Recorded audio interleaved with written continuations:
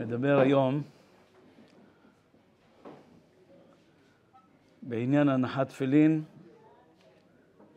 בתשעה באב. הגם שיכול להיות שיש כאן לומדים ששמעו אפילו את מרן, הרב עובדיה, בשיעור הזה. אבל אני רוצה היום לדבר קצת יותר בפנימיות של הדבר, בפנימיות של המנהג עצמו.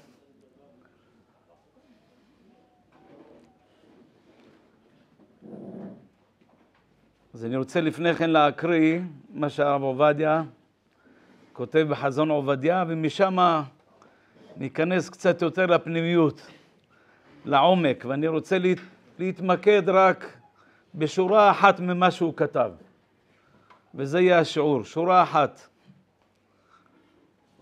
אז אם כן, כתוב בחזון עובדיה, יש נוהגים שלא להתעטף בטלית גדול בשחרית של יום תשעה באב,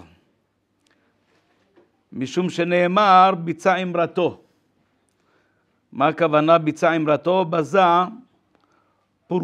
פורפרי. אז אם כן, הכוונה קרע ושסע את המעיל שלו.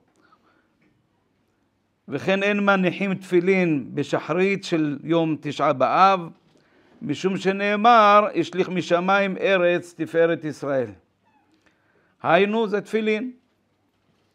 ורק במנחה של תפילת תשעה באב, אז מניחים תפילין ומברכים עליהם. וכיום רוב בתי כנסת בירושלים ומערי ארץ ישראל מתעטפים בטלית ומניחים תפילין בשחרית של תשעה באב כמו בכל יום ומתפללים שחרית עם סדר הקורבנות ופסוקי דזמרה ושירת הים כמו בכל יום. לאפוקה מאן דאמר שקוראים את האזינו במקום שירת הים. טוב, אנחנו רואים למעשה כשיצא הפסק הזה, אז מאוד מאוד שמחנו על הפסק הזה, בגלל שזה היה מתאים לנו. כי באמת על פי הסוד זה מאוד מאוד מתאים. ו... אז הרב עובדיה נותן פה את המקורות, ידוע מפורסם, הראש במסכת תענית, הראש כותב בשם רבו, מהר"ם מרוטנבורג, אחד מבעלי התוספות, ידוע מפורסם, שהוא היה גדול הדור, והוא נותן למעשה ראיה מהגמרא מסכת מועד קטן. הוא כותב למה אין מניחים תפילין בתשעה באב, מה הסיבה, מה הטעם? בגלל שזה דיני אבלות. הוא מביא ראיה ממועד קטן ט"ו עמוד א', כותבת הגמרא שם שאבל אסור לו להניח תפילין. זה בט"ו. ודף כ"א עמוד א' כותב את הטעם, את הסיבה. מה הטעם, מה הסיבה? אז כתוב למעשה שיש מחלוקת בין רבי אליעזר לרבי יהושע. אנחנו רואים כל הזמן יש מחלוקת בין רבי אליעזר לרבי יהושע, אנחנו עוד נדבר בזה. רבי אליעזר לרבי יהושע, רבי אליעזר אומר שלושה ימים האבל לא מניח תפילין. זאת אומרת הפשט הוא שיומיים הוא לא מניח תפילין, רק ביום השלישי הוא מתחיל להניח תפילין. רבי יהושע אומר, לא, זה יומיים. הכוונה יום הראשון שלא מניח תפילין, ויום השני מתחיל כבר מהיום השני להניח תפילין. אומרת הגמרא, מה הסיבה? למה לא מניחים תפילין? אומרת הגמרא, יש מרירות. האבל הוא מריר, ואין דעתו מונחת כל כך עליו, הוא יכול להסיח דעת הרבה מהתפילין. אז לכן אין מניחים תפילין ביום הראשון, או ביום, או מהיום השני ואילך, כמו רבי אליעזר. ואומרת שמה הגמרא, נפסק להלכה כדעת רבי יהושע. רבי יהושע אומר שאין מניחים תפילין ביום הראשון. אבל ביום השני ואילך, כן, אדרבה. אנחנו רואים למעשה, אומר מהר"ם מרוטנבורג, יוצא למעשה שגם אנחנו, יש לנו חורבן בית המקדש, אנחנו יושבים לארץ בתשעה באב, בוכים, שמים אפר מקלה על הראש שלנו, עצובים, קשה לנו, זה לא פשוט. הגם שבתוך זה יש נחמה, כי אנחנו יודעים, מפורסם הדבר הזה, שאחרי תשעה באב, בפרט עכשיו שאם זה דחוי, כמו השנה, אחרי תשעה באב כולם שמחים, כולם אוכלים בשר, מותר לשמוע, לשמוע שירה, זמרה. שואלים המפרשים, מה קרה? מה זה, יש איזה משהו שנבנה בית המקדש? נשאר אותו דבר. אותו חורבן, אותו, אותו מצב נשארנו. אז מה פתאום אנחנו עכשיו שמחים? מה קרה פה? אבל עצם העניין, עצם הרעיון שאנחנו מתאבלים על גלות השכינה ועל ריחוק השכינה ועל חורבן בית המקדש, עצם הנקודה הזאת עצמה היא כבר הגאולה עצמה, היא תחילת הגאולה. שאנחנו מאמינים, יש לנו תקווה בזה. מספרים על נפוליאון כשהוא הגיע, שהוא עשה דהירה, דהירת לילה עם השרים שלו. הוא עבר, הוא ראה בפריז, ראה איזה, איזה בית ככה חשוך, עם, רק עם אורות קצת, עם נרות, ובוכים, בוכים, צעקות נוראות. שאל, שאל מה קרה, מה, אנחנו, אני נפוליאון, מה זאת אומרת? נפוליאון ב, בתקופה שלו הוא ידע לעשות שוויון זכויות, כאילו, שוויון זכויות מלא בין כל האנשים עצמם. אצלי מישהו יבכה? אין דבר כזה. מה קרה שם? אמרו לו, תשמע, יש איזה, זה היהודים, והיה להם איזה בית בירושלים, ככה לא יודע מה, ומישהו החריב את זה והרסו אותו. הוא אומר, בסדר, יבנו, מה, מה הבעיה? זה שיבנו אותו, מה, אנחנו נעזור להם. הוא אומר, לא, זה משהו מיוחד, זה לא פשוט. אמר, לפני כמה זמן? לפני שנה, שנתיים? הוא אומר, לא, זה לפני אלף, אלף ארבע מאות, זה היה אלף חמש מאות, שש מאות שנה. אמר, אם אומה כזאת יושבת ובוכה על בית, על על חורבן בית המקדש, על החורבן שלה, לעם כזה יש תקומה, יש קיום לעולם. אז זהו, זו הנקודה הזאת שאנחנו רואים למעשה. אז נכון שאנחנו עכשיו מתאבלים, לא קרה כלום, לא, לא, לא נבנה בית המקדש, אנחנו נמצאים בעיצומו של חורבן. אז למה שצריכים להניח תפילין? זה אותו דבר כמו אבל, אומר מהר"ם מרוטנבורג. אז לכן הוא סובר בסברה, הוא אומר שבאמת אה, זו הסיבה, זה הטעם שלא מניחים תפילין בתשעה באב. טוב, למעשה אה, הלך אחריו, גם פסק שיבולי הלקט, הוא קצת שונה קצת, אומר, הוא אומר שמה לשום לאבלי ציון פאר תחת אפר, אז מה הכוונה? במקום שיש אפר יש, אז אין תפילין, במקום ש... ואנחנו רואים למעשה שככה פסקו חלק מהראשונים, שלמעשה לא מניחים תפילין בתשעה באב. ידוע מפורסם, זה מה שהרב הרב פה כותב. אז אם כן, אנחנו רואים למעשה, אבל אם נפתח ונראה את הראשונים והאחרונים, כמעט רוב הראשונים אומרים שכן מניחים תפילין, כן מניחים תפילין בתשעה באב.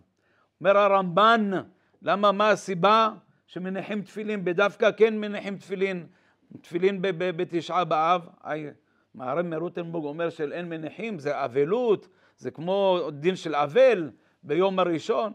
אומר נכון, ביום הראשון לא מניחים תפילין, אבל זה אבלות ישנה, לפני כמה זמן חרב בית המקדש? בשנת 3828 לבריאת העולם. זאת אומרת, היום זה 1951 שנה מזמן חורבן בית המקדש. חרב בית המקדש. אבל זה אבלות ישנה, סוף סוף זה אבלות ישנה, זה לא אבלות חדשה. ואם האבל ביום השני כבר מניח תפילין אבל על אביו או על אמו, אחד מהשבעה, אחד מהשבעה קרובים שאדם מתאבל עליהם, אז ממילא זה לא, זה לא יהיה יותר חמור האבלות הישנה הזאת מאדם שיושב, ש- שעכשיו הוא מתאבל על, על אביו ועל אמו, ודאי זה לא יותר חמור בדבר הזה. לכן סובר הרמב"ן שיש להניח תפילין רגיל כמו בכל יום. לא רק הרמב"ן, זה הרשב"ו, זה הריטבו, זה הר"ן, זה רוב הראשונים, בפרט הספרדים, כולם כמעט סוברים, האור זרוע. יש הרבה הרבה הרבה פוסקים ראשונים שפוסקים שלא יהיה היום, היום של תשעה באב, לא יהיה חמור יותר מאותו יום הזה של, ה, של היום השני של האבלות. אז לכן זו הסיבה וזה הטעם שהם כן סוברים ככה בצורה הזאת, שכן אנחנו הולכים לעשות, אנחנו מניחים תפילין, וככה כותבים, בהלכה למעשה כותבים. הרמב"ם כותב, זה משהו מאוד מאוד מיוחד, הוא אומר, ומקצת החכמים, ככה הוא כותב, ומקצת החכמים לא היו מניחים תפילין של ראש. מסתם בגלל הנקודה הזאת שכתוב לשום לאבלי ציון, פאר תחת אפר. בסדר, אבל הוא אומר מקצת החכמים. במקום אומר הרב המגיד, אז הוא אומר שמה, אבל לשיטת הרמב"ם באמת, טוב, מקצת חכמים, אבל מה הרמב"ם, מה, מה הרמב"ם סובר? הרמב"ם סובר צריכים להניח תפילין, רק מצד חכמים, גם תפילין של יד היו מניחים המקצת האלה, מקצת החכמים היו כן מניחים, מניחים תפילין של יד, רק מקצת החכמים לא היו מניחים תפילין של ראש, בסדר. אבל הרמב"ם לשיטתו, אז כן מניחים תפילין, גם יד וגם של ראש. אז אם כן, אנחנו רואים למעשה רוב בניין, רוב מניין של, של, התל, של, ה, של החכמים, של הראשונים, סוברים שמניחים תפילין של תפילין בתשעה באב. זה היה כש, כשמרן הרב פסק את הפסיקה הזאת, זה היה, היה לנו שמחה מאוד מאוד גדולה. למה? כי אנחנו היינו מניחים תפילין, כן, אבל אה, זה, היינו מניחים תפילין, אבל בשקט, שלא ירגנו אותנו באבנים. זה היה אומרים, איך אתה משנה, מה פתאום אתה בא, משנה. אבל המרן היה לו כוח לשנות, אז הוא כותב, וכולם עושים מה שהוא כותב. וככה ניצלנו בערך, עשינו, ניצלנו את ההזדמנות הזאת, וברוך השם זה התפשט בכל הארץ. בכל הארץ, ככה, ככה עושים, ככה נוהגים היום ברוב, ה, ברוב העדות, רוב בתי הכנסת, ככה נוהגים לעשות כמנהג ירושלים. ו... טוב, אז ככה, ככה כותב בחזון עובדיה. אז גם מרן למעשה בהלכות תפילין, שם הוא כותב שכן להניח, אבל הוא, יש מאן דאמר שהוא סותר את עצמו בהלכות תשעה באב, לא ניכנס בנקודה הזאת.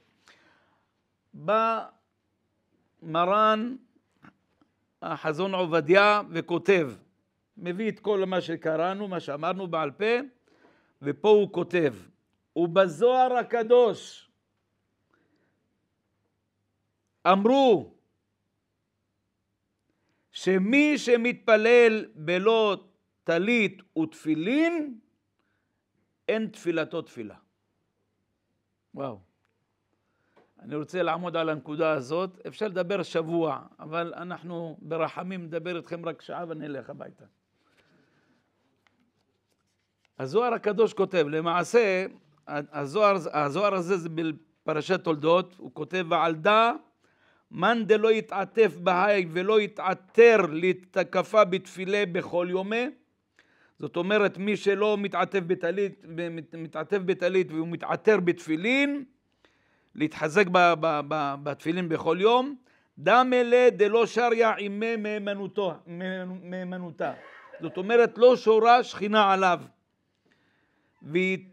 ולא רק זה אומר, וצלותי לאו צלותי כדקייאות. זה מה שהוא בא להגיד. התפילה שלו אינה תפילה. כמו שהרב עובדיה כותב. ואני רוצה להתעכב על הנקודה הזאת. אין תפילתו תפילה. זה קצת מפחיד. מה זאת אומרת? אדם מתפלל, אבל לא יתפלל עם טלית ותפילין. זה כלום. והתפילה הזאת, אין תפילתו תפילה. זה קצת, זה קצת מדאיג, קצת. טוב, הגם שאנחנו לא עושים ככה, אבל אלה שעכשיו יעשו ולא יניח תפיל, לא, לא יניחו תפילין בתשעה באב, אז מה עושים? אומר, אומר, אומר חזון עובדיה, אין תפילתו תפילה בשם הזוהר הקדוש. ועכשיו, בנקודה הזאת, אני רוצה לפתח את זה, להעמיק, ותראו איזה עומק עצום השורה הזאת של החזון עובדיה. אולי חצי שורה, שלושת רבעי שורה, תראו כמה היא שווה. רק תראו כמה כל משפט שכתוב פה, אפשר להרחיב, להעמיק, לשדד מערכות, אלוקים חיים. אני רק רוצה, ממש, ברשותכם, קצת לעמוד על הנקודה הזאת. אני אגיד משתי סיבות. סיבה אחת, אני לא רוצה לדבר, הרי ממילא כבר כתוב, על, על פי הפוסקים, כבר הרב קיבץ את כל הפוסקים, ומסתם מה יש, המבוגרים שבינינו פה, שמעו אפילו את הרב, את הרב עצמו בעצמו אמר את השיעור הזה. אבל יותר מה שאני רוצה להגיד, כתוב בזוהר, כתוב בשער הגלגולים, אם אדם לא ילמד קבלה, ככה כתוב, הוא יחזור בגלגול. אז אני פשוט, אני, יש לי לב רחמן קצת. אז אני לא רוצה שכולנו נחזור בגלגול. אז אחרי 120 שנה תעלו לשמיים, יגידו, ינקלה, למה לא למדת קבלה? למה לא למדת סוד? לא היה לי זמן, מאיפה אני יכול, איפה אני אעשות? טוב, אין מה לעשות, תרד למטה. מה לרדת למטה? למה שאני ארד למטה? עוד פעם, עוד פעם להיוולד מחדש, עוד פעם לעשות? זה לא כל כך נורא, לא כל כך פשוט. אתה אחרי 120 שנה, תגיד, הקדוש ברוך הוא, אני למדתי קבלה. איך למדת קבלה? מה, לא, לא ראינו אותך בבית המדרש, לא בנהר שלום וגם לא באמת ושלום בראש העין. תגיד, לא, היה רב אבג'ן פה, הוא נתן שיעור בק... בקבולה, וזהו, אני נפטר, ברוך השם אני נפטר. אז בואו ניפטר כולנו, אז נדבר קצת מעט מעט על פי הסוד. אנחנו נשתדל לעשות את זה פשוט פשוט, כי זה באמת הדברים מאוד מאוד עמוקים.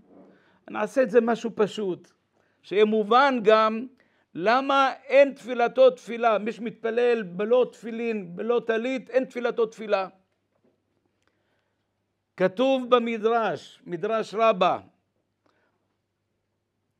ככה כתוב, שהקדוש, אמר, אמר רבי אבאו, הקדוש ברוך הוא היה בורא עולמות ומחריבן. וכותב רבנו הארי עוד, יום, עוד מחר בעזרת שם בלילה תהיה ההילולה שלו, אומר רבנו הארי מה הכוונה? שהקדוש ברוך הוא בורא עולמות רוחניים.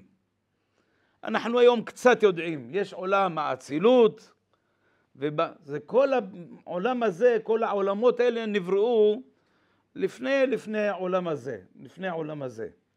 אז אם כן, הקדוש ברוך הוא המאציל העליון, ברא את עולם האצילות, ואחר כך ברא, זה עולם האצילות לא יגורך רע, על זה נאמר. אחר כך ברא למטה ממנו עולם הבריאה, שם נמצא כיסא הכבוד, ואחר כך למטה ממנו, הכוונה גשמי יותר, יחסית, זה עולם היצירה, זה עולם המלאכים שמשבחים לקדוש ברוך הוא, ואחר כך יש עולם העשייה. ובאמת באמת עולם העשייה ההוא, זה לא עולם העשייה הזה, העכור. יש עוד אין קץ של עולמות בין עולם היצירה לעולם העשייה, ועולם העשייה עד העולם הזה, התחתון הכי גשמי, הכי תחתון, יש אין קץ של עולמות. אבל לא ניכנס בנקודה הזאת. בשבילנו עולם העשייה זה פה, זה עולם העשייה, זה העולם הזה. אבל יש עוד עולם שהוא יותר מעולם, מעולם האצילות, שזה נקרא אדם קדמון. אדם קדמון, זה לא האדם הראשון, זה אדם קדמון, זה הכוונה, זה עולם ש...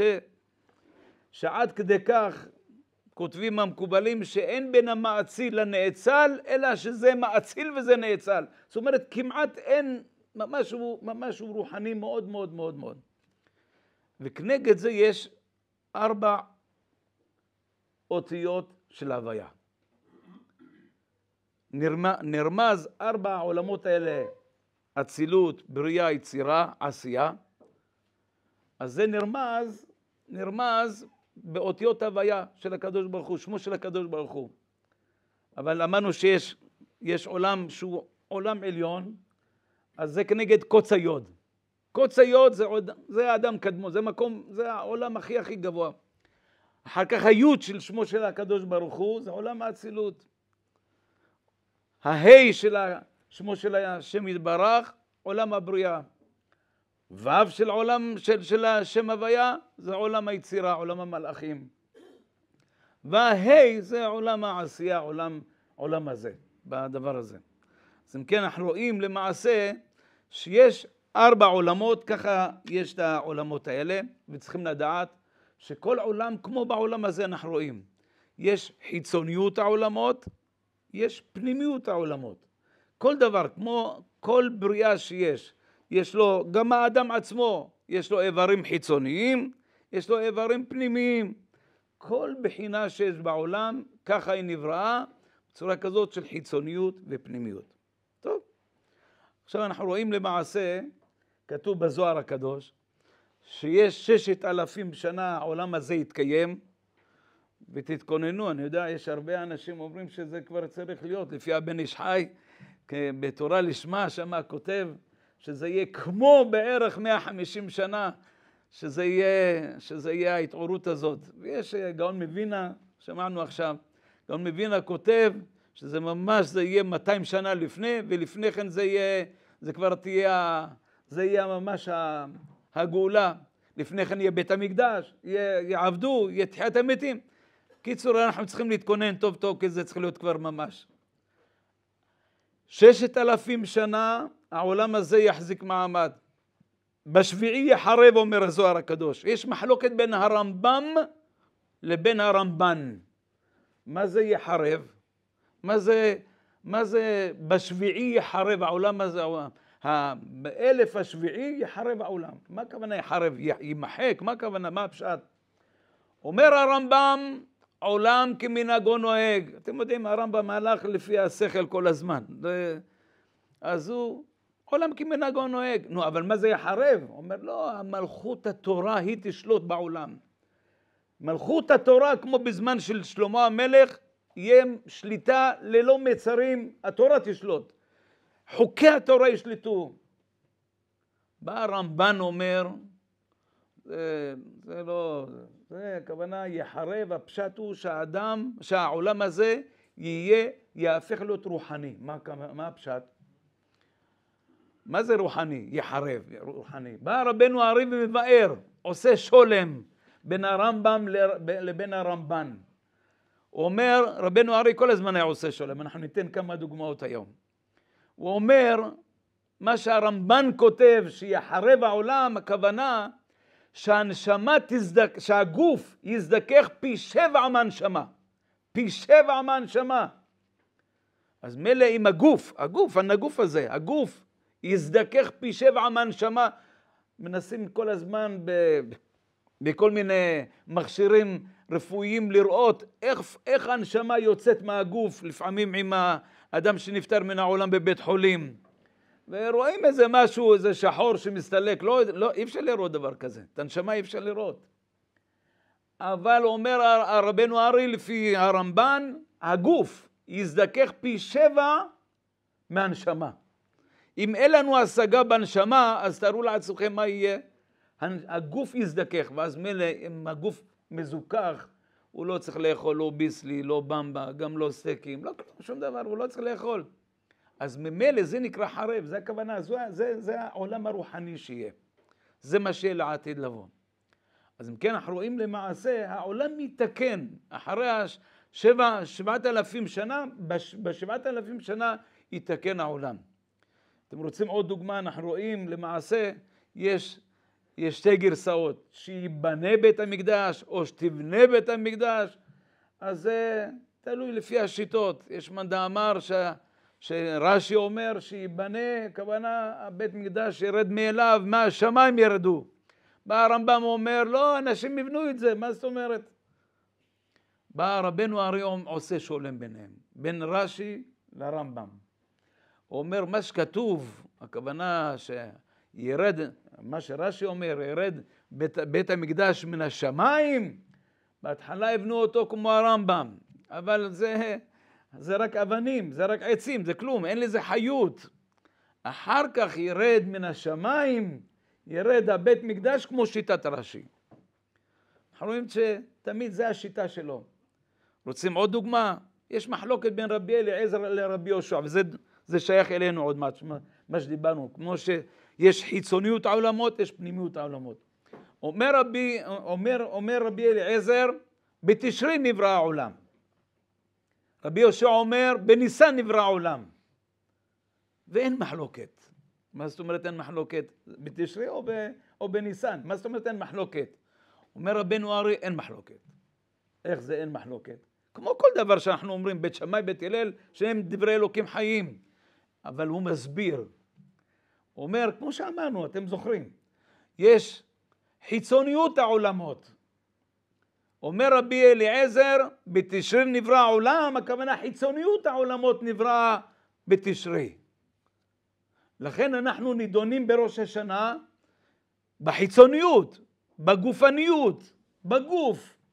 מי לחיים, למיתה, מי יטבע, מי יחיה, מי יישרף, מי... כל זה בגוף. נידון, האדם נידון על הגוף. אבל בפסח, פנימיות העולמות נבראו. הנשמות נבראו, בפני... זה בפנימיות, הנשמות נבראו. אז מילא אין מחלוקת.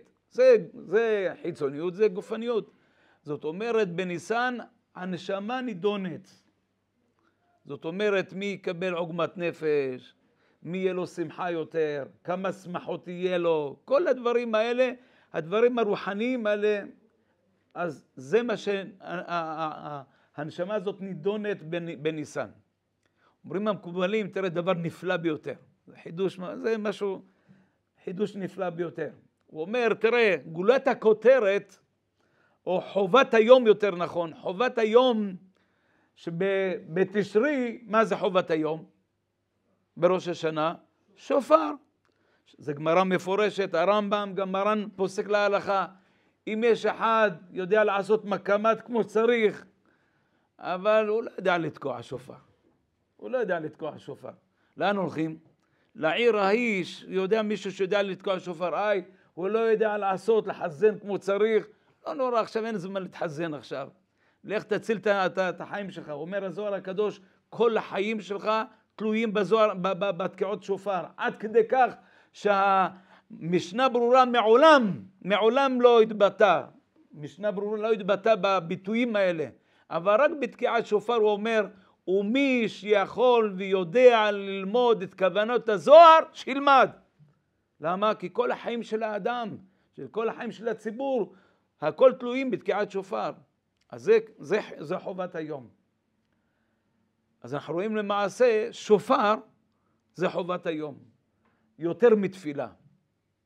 באים המקובלים ואומרים, אתה רואה איזה חיצוניות העולמות. זה מה שאמרנו, שהחיצוניות נבראה, בתשרי נברא העולם, רבי אליעזר אומר, בתשרי נברא העולם, היינו חיצוניות. אם תעשה עכשיו פנימיות, מה זאת אומרת אומרים המקובלים, מה זה פנימיות? הכוונה מה האותיות שבאות מלפני שופר, האותיות שבאות קודם השופר. מה בא לפני שין? רש. מה בא לפני ו'?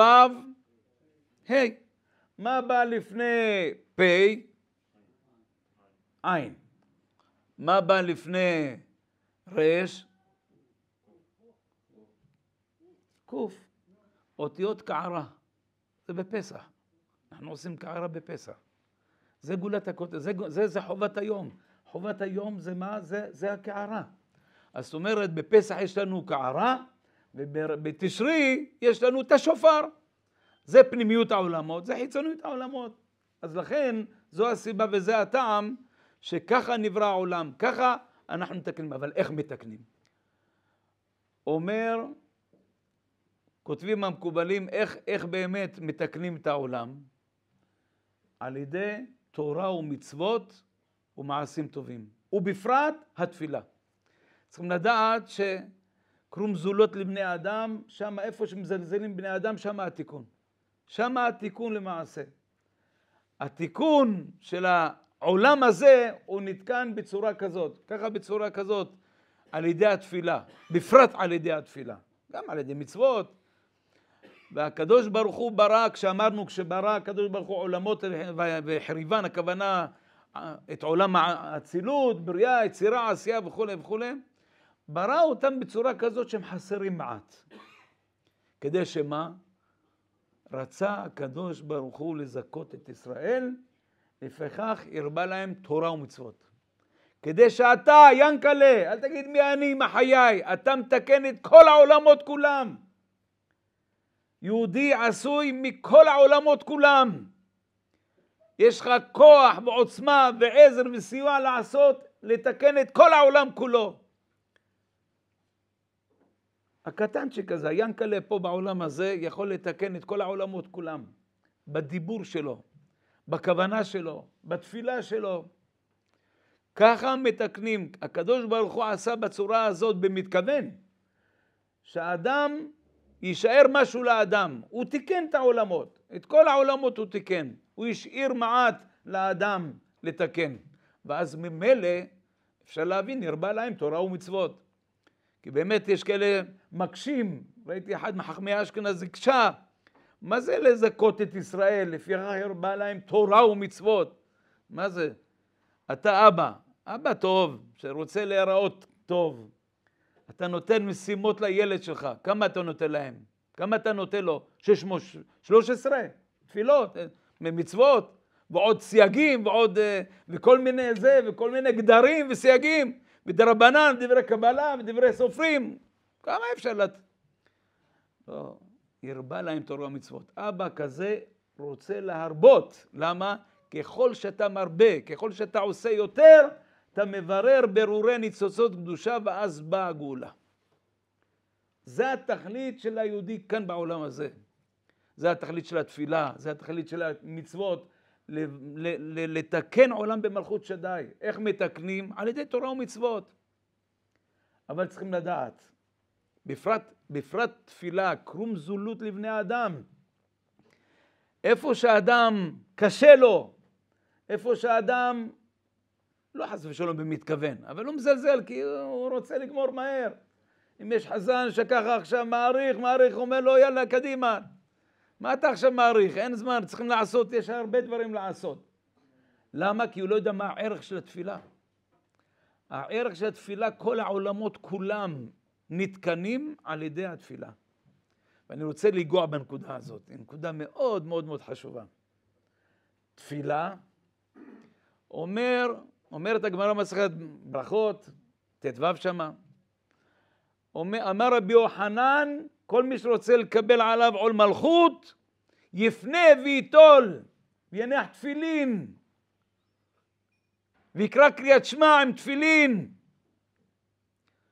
בא רבנו ארי ומפתח את הנקודה הזאת ואומר וואו איזה דבר עצום ותר, ותתבוננו ותראו זה משהו נפלא בפרט אנחנו הספרדים יש לנו את הנוסח של רבנו ארי שקיבלנו על, על עצמנו איך שזה בנוי, איך, זה, איך התפילה בנויה, תראו.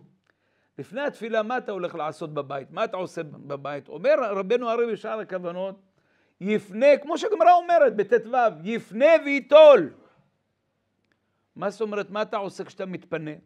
יש עניין להתפנות. בסדר, אתה מתנקה, זה חשוב, חשוב לגוף, אבל זה גם חשוב לתיקון העולמות. כשאתה עושה יפנה וייטול, כמו שהגמרא אומרת, אתה מתקן את עולם העשייה. אבל עוד פעם, כמו שאמרנו, יש חיצוניות העולמות, יש פנימיות העולמות. אתה עכשיו מתקן בחיצוניות. למה? כי המעשה, מה יעשה? זה משהו של, של, של, של, של חיצוניות. דיבור, כשאדם מדבר, מתפלל, מתקן בפנימיות העולמות. אז אם כן, אנחנו רואים למעשה, עכשיו אנחנו עושים חיצוניות העולמות. יפנה וייטול. אז אתה מקיים את דברי הגמרא כדבעי, אבל תדע לך שאתה גם מתקן את עולם העשייה. טוב, תיקנת את עולם העשייה, בירכת ברכת את הברכות, הכל בסדר. מה אתה הולך לעשות עכשיו? מתעטף בטלית. מתעטף בטלית, אומר רבנו ארי, אתה מתקן בעולם היצירה, עולם המלאכים. עולם, עולם היצירה, אמרנו יש עולם הבריאה, עולם היצירה. אתה מתעטף בטלית, כמה? שתי שניות, כמה? חמש, חמש שניות, עשר שניות, אתה מתקן את עולם, עולם, עולם היצירה, עולם המלאכים, אתה, זה מה שאתה הולך לעשות. טוב? אחר כך אתה יושב, מניח תפילין של יד, מתקן עולם הבריאה. למה יושבים? למה הספרדים יושבים? עכשיו אנחנו נדע הרבה, הרבה דברים.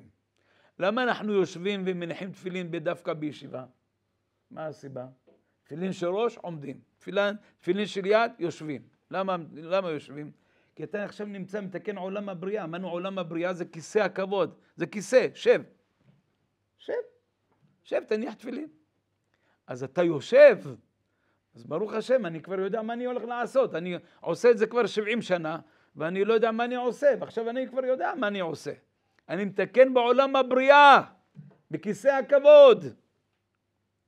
אחר כך עומד בעולם האצילות. לכן זו הסיבה שעומדים. עולם האצילות זה מקום מאוד מאוד גבוה. בדיוק מה שאנחנו עושים במעשה, בדיוק. אנחנו עושים גם בתפילה שזה סוד הדיבור, שאנחנו מתקנים בפנימיות. מה אנחנו עושים? באים לבית הכנסת, מתחילים קורבנות. מה זה קורבנות? קורבנות עולם העשייה. אתה לוקח כבש, שוחט אותו, מדבר מה היה עם הקדוש ברוך הוא, מה היה עם, עם אברהם אבינו שעקד את יצחק, כל זה עולם העשייה. כל הדברים האלה, איזה מקומה של זבחים, כל העניינים של הזבחים, של, של עבודת בית המקדש, עולם העשייה. עושים עולם העשייה. אז רק אתה מתקן את עולם העשייה בדיבור.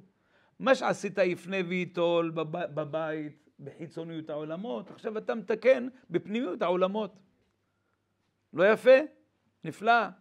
לא רק זה, מה שעשית בטלית, שתיקנת עולם היצירה, עולם המלאכים, מה אתה עושה עכשיו? משבח לקדוש ברוך הוא, עושה פסוקי דה זמרה. מי משבח לקדוש ברוך הוא?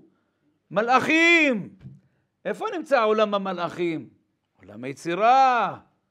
אז אם כן, עשית קורבנות, תיקנת עולם העשייה, אמרת, אתה התחלת לשבח את הקדוש ברוך הוא בפסוקי דה זמרה, אתה משבח לקדוש ברוך הוא, מתקן בעולם היצירה. אחר כך מה אתה עושה? יוצר אור, בור חושך, כיסא הכבוד, כן? אז ברגע שאתה עושה, אתה מתקן את כיסא הכבוד, יוצר אור ובור חושך, שם את כל הברכות, אז אתה מתקן בעולם הבריאה, זה כיסא, כיסא הכבוד. מה שעשית בהנחת תפילין של יד, שבמעשה אתה עושה עכשיו עכשיו אתה עושה ויוצר אור, אתה מתקן בפנימיות, רק בדיבור, מבחינת הדיבור. מגיע עולם של שמונה עשרה, עולם האצילות, מתקן בעולם האצילות. תפילת שמונה עשרה עומדים, כמו שעמדת בתפילין של ראש, למה? כי זה עולם, העשי, עולם האצילות. אותו דבר עכשיו אתה עכשיו מתקן בעולם האצילות, אבל בדיבור, מבחינת, מבחינת הדיבור. רואים, יש ממש הקבלה ברורה, מדויקת. ארבע עולמות אתה מתקן בעולם העשייה, במעשה, ארבע עולמות בדיבור, בפנימיות העולמות. אז זה נפלא ביותר.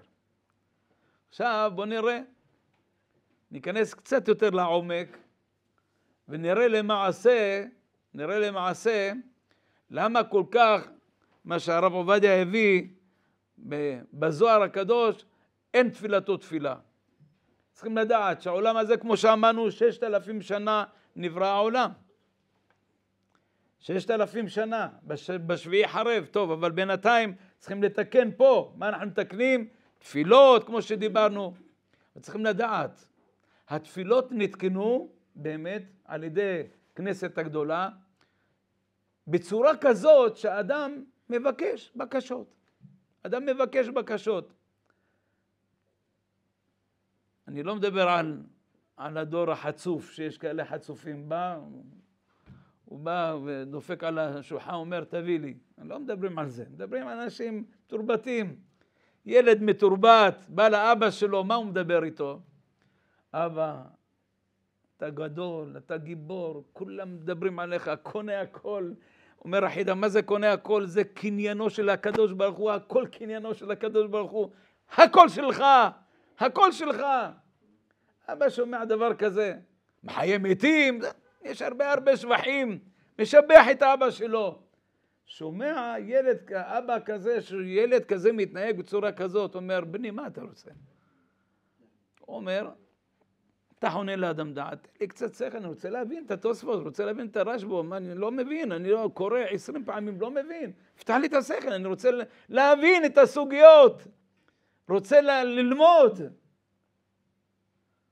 טוב, רוצה ללמוד? נותן לו. מה אתה עוד רוצה? עשיתי אתמול עבירות, זה לא בכוונה חס ושלום. אין יהודי שעושה בכוונה. אבל ככה, אתה יודע, אין צדיק בארץ אשר יעשה טוב ולא יחטא, סלח לנו אבינו כי חטאנו, סולח לו. כואב לי השיניים, זה טוב, כואב לך השיניים, אומר פלא יועץ, תתעטף בטלית, תברך ברוך אתה השם, אלוקינו מלך העולם, אשר כדישן מצוותיו יצוונו להתעטף בציצית, ל"ב, ל"ב שיניים, יעקב ברוך השם, אתה לא צריך ללכת לרופא שיניים, בשביל מה לבזבז 11 אלף שקל על, על השתלות, על זה, מה, איפה אתה, תברך, תברך כמו שצריך וגמרנו את הסיפור, מה אתה הולך ל... בשביל מה אתה צריך לעשות את כל הדברים האלה?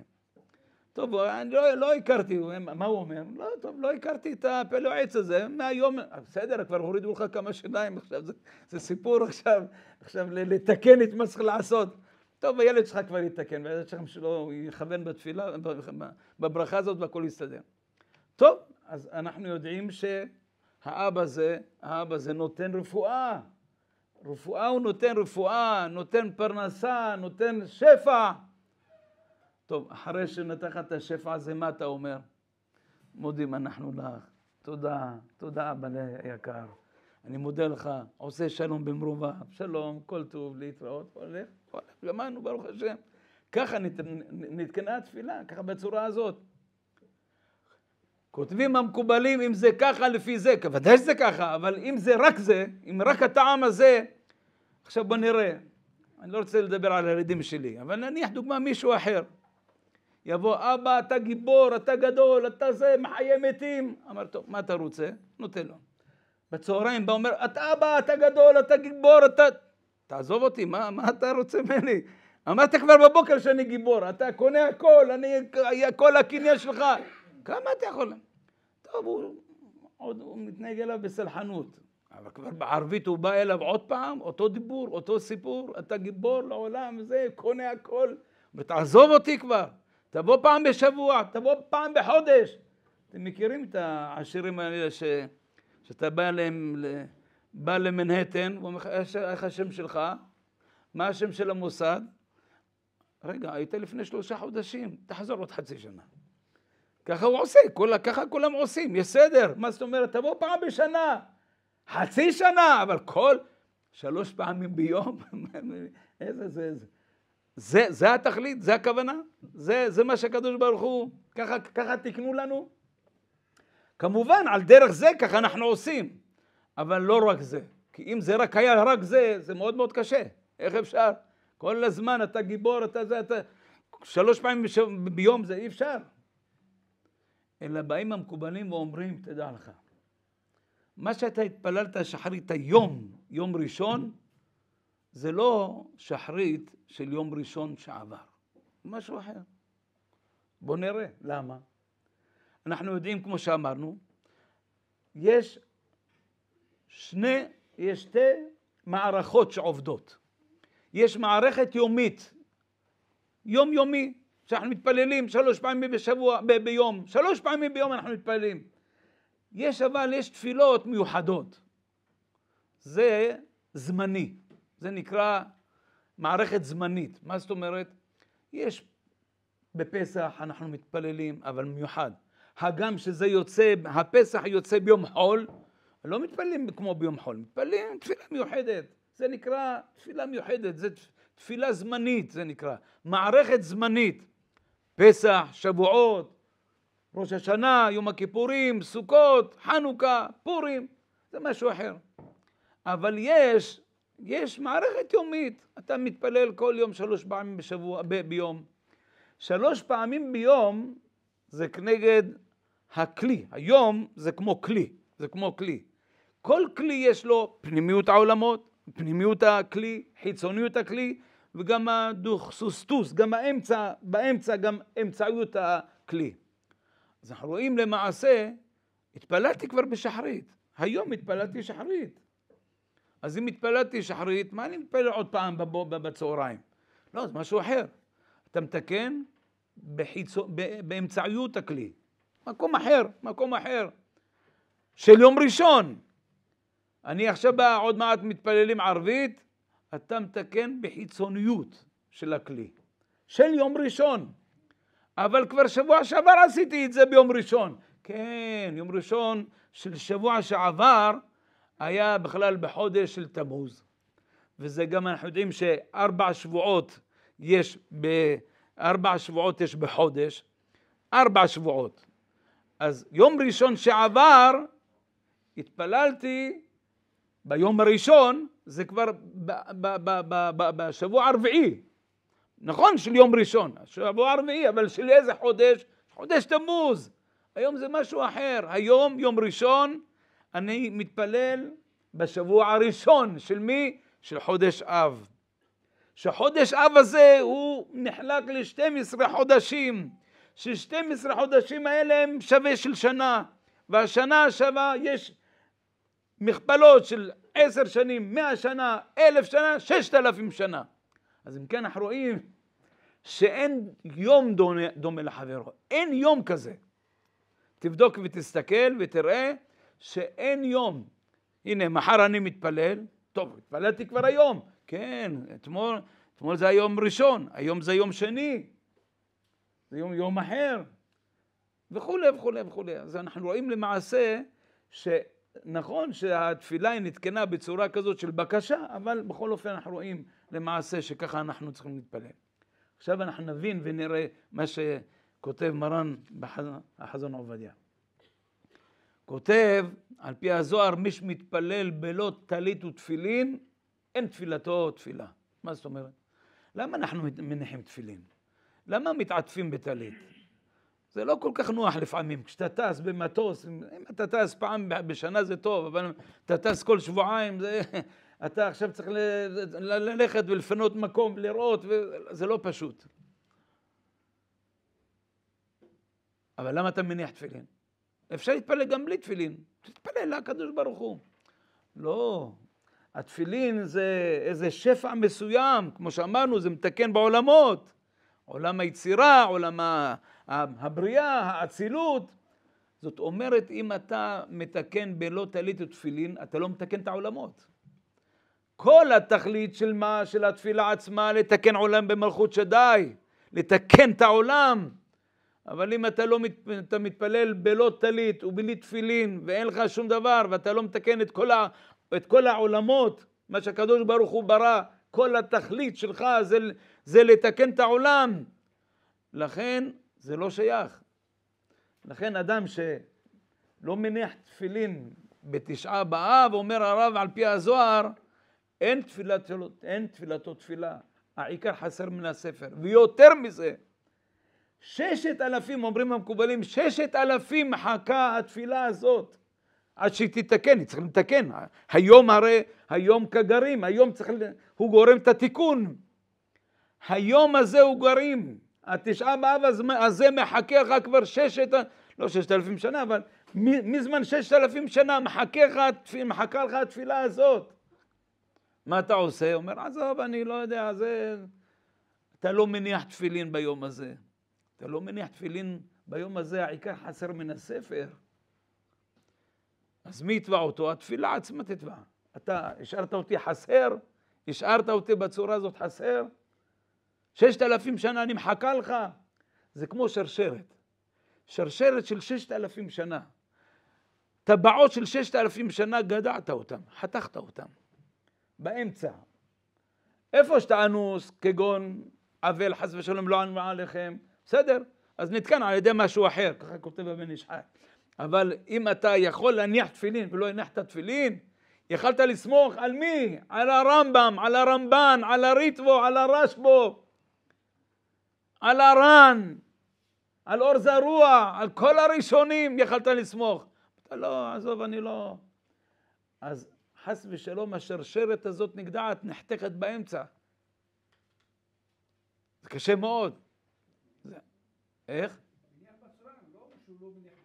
לא, אבל כמו שאמרנו, בבוקר זה כלי הפנימי, אז חסר לך כלי, כלי הפנימי. הרי למה אנחנו מתפללים שלוש פעמים בשבוע, ביום?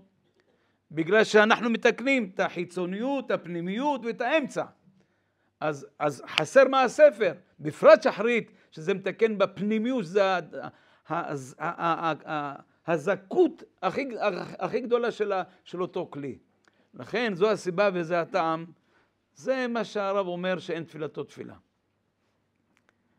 אני רוצה, ברשותכם, אם כבר דיברנו על החורבן, אז זה חשוב, לכן אנחנו רואים למעשה כמה חשוב, כמה חשובה התפילה עם הנחת תפילין ב, ביום תשעה באב. אבל נדבר קצת אולי בעוד חמש דקות, שבע דקות, מה שנשאר, על הגלות. ואני רוצה, ואני ממש מבקש, שתחזיקו חזק את הכיסא כדי שלא ליפול. לא, לא, לא, לא, לא תמריאו, שלא תיפלו, שלא כולנו ניפול. אני הולך להגיד משהו חידוש, זה לא כתוב, זה לא אני, זה לא חידשתי אני, אבל אם לא היה כתוב, אולי היה אסור להגיד את זה. יש מדרש, מדרש רבה, והארץ הייתה תוהו ובוהו וחושך על פני תהום. אומר המדרש, אמר יש לקיש, כנגד ארבע גלויות, עם ישראל, הפסוק הזה מדבר, והארץ הייתה תוהו, גלות בבל, בוהו, גלות פרס, וחושך, גלות יוון, אלה שהחשיכו עיניהם של ישראל. על פני תהום, לא כתוב. איזה? המדרש לא כותב. ריש לקיש לא אומר את המדרש, לא אומר מי, מי, מי הגלות הזאת. יש מחלוקת בין הרמב"ן לרבי אברהם בן עזרא. הרמב"ן כותב זיל בטל טעמה, לך תן לפי הטעם. מי כבש את הבבלאים? הפרסים. מי כבש את הפרסים? היוונים. מי שכבש את היוונים זה הגלות הרביעית. מי זה? הרומאים. אז אם כן, לפי שיטת הרמב"ן, גלות הרביעית הזאת שאנחנו נמצאים בה, בתוכה, זה גלות רומא. רבי אברהם בבן עזרא אומר לא כך. רבותיי, אני לא אומר ציטוט, זה קצת מילים ממה שאני מוסיף, בסדר? שלא, זה לא ציטוט ממש. אבל זה דבר שהוא מוכרח בדבר הזה. אומר רבי אברהם בן עזרא, הגלות הזאת, גלות הרביעית הזאת היא ארוכה. אנחנו רואים, אנחנו מחכים, 1951 שנה מחכים. לא כמו 70 שנה בגלות, בין, חור, בין חורבן בית המקדש הראשון לשני, 70 שנה חיכו. 1951 שנה אנחנו מחכים, אלה הגלות הכי גדולה, הכי ארוכה. אומר רבי אברהם אבן עזרא, זה גלות ישמעאל. ואני מוסיף, גלות ישמעאל הפשט הוא אנשים צמאי דם, אין להם שום ערך לחיים, אנחנו רואים את זה. וזה פלא עצום. הגלות הזאת גלות ישמעאל, אומר רבי אברהם אבן עזרא. אומר מהר"ל, דברי נבואה לפני 420 שנה, מהר"ל כותב, לא ציטוט, אבל זה מה שהוא אומר. אתה יודע למה הגלות הזאת מתמשכת? בגלל שהקדוש ברוך הוא שומע לישמעאל. זה מביא לרעיון. אנחנו עם הבחירה, והקדוש ברוך הוא שומע לישמעאל. והוא אומר איך? מאיפה יש ראיה? אומר הקדוש ברוך הוא לאברהם אבינו, אני אתן לך זרע. היינו את יצחק. מה אומר אברהם אבינו בענווה שלו? מה אומר? לו ישמעאל יחיה לפניך. תכף ומיד, סמוך לזה, מה כתוב? ולישמעאל שמעתיך. לישמעאל שמעתיך. אומרים חכמים, הישמעאל הזה, לישמעאל שמעתיך, למה הקדוש ברוך הוא שומע את ישמעאל? בגלל שהוא משמיע את שמו של הקדוש ברוך הוא בכל רגע. חיזבאללה, נסראללה, רמאללה, הכל אללה. הכל, אפילו כשהם מתפוצצים אומרים אללהו אכבר. משמיעים את שמו של הקדוש ברוך הוא. הם משמיעים, הם לא מתביישים להגיד בעזרת השם. וכבר מישהו, איזה מנהיג, אמר בעזרת השם, כולם בחרו בו. למה הוא אמר בעזרת השם? מה, בגלל שהוא אמר בעזרת השם צריכים לבחור בו? מה? אני לא נכנס לפוליטיקה. אני רק אומר. מה? בסדר, אמר בעזרת השם, ככה, ככה כל יהודי צריך להתנהג, מה זאת אומרת? אבל הם פשוט. הוא יכול פה להסתובב ברחוב, אנחנו לא רוצים שיהיו פה. אבל אם הוא נכנס לפה, פורס את הסדין שלו, זורק את עצמו, הוא מתפלל, לא משנה, הכל שקר גמור, אבל הוא מתפלל, הוא לא מתבייש, אין לו תירוצים, הוא מתפלל, משמיע את שמו של הקדוש ברוך הוא. אומרים חכמי המוסר, איך אפשר לצאת מהגלות הזאת? ולשמעאל שמעתיך, אנחנו, אנחנו באמצע. הם כל הזמן משמיעים, מה, נסתום להם את הפה? הם לא סותמים את הפה. הלוואי שיסגרו את הפה. הם לא סוגרים את הפה. מה אנחנו יכולים לעשות? אומרים חכמי המוסר, מה אפשר לעשות כדי לטשטש, לטשטש את, הש, את הקול הזה ולשמעאל שמעתיך, לטשטש את הקול הזה, איך מה עושים? אומר, יהודים צריכים להיכנס לבתי מדרשות, כמו פה, מקום קדוש ונורא. יושבים ולומדים והוגים, מתפללים לקדוש ברוך הוא, בקול גדול, מתפללים ולומדים ומשמיעים את שמו של הקדוש ברוך הוא, ממילא אתה צועק. אני לא אומר עכשיו תתחילו לצעוק כמו בקרלין, לא צריך, מספיק יש לנו את קרלין. אחד צועק זה בסדר. אתם תתפללו בכוונה, אבל לפחות אנשים בהם נכנסים ומתפללים. בכוונה גדולה. אם אתה יכול להגיד אמן אשמי רבה, תגיד בקול גדול. בכוונה גדולה, לפי שיטת רש"י, לפי התוספות, לא משנה. ברגע שאתה נכנס לבתי מדרשות, יהודים נכנסים לבתי מדרשות, הקול קול יעקב, הקול הזה הוא מטשטש, הוא מטשטש ולשמע אל שמעתיך, הוא מוחק אותו. זה הכוח שלנו. שלא יספרו שאפשר לעשות שלום, אפשר לעשות ככה. זה טוב לתת משכורת ל-120 אנשים, זה טוב, זה בסדר, גם יהודים צריכים להתפרנס, זה טוב. צריכים אבל לדעת שזה לא תלוי בזה, השלום לא כל אף שום דבר. הגאולה, ואנחנו צריכים לצאת מהגאולה הזאת, לצאת מהגאולה הגדולה הזאת, הארוכה הזאת, על ידי התפילות, על ידי המצוות, על ידי התורה. תיכנס לבית המדרש, תעשה שטייגן כמו שצריך. ממילא אם אתה, כל הבית מש, בית, בית, מדרש, בית מדרש בוער, אז זה מטשטש, ולישמעאל שמעתיך. יהי רצון בעזרת השם, שנזכה לגאולת עולמים. יתבנה בית המקדש במהרה בימינו, ונזכה בעזרת השם לראות עין בעין שוב השם ציון. יתקיים בנו מקרא שכתוב, קומי אורי כי באורך. כבוד השם עליך זרח אמן ואמן.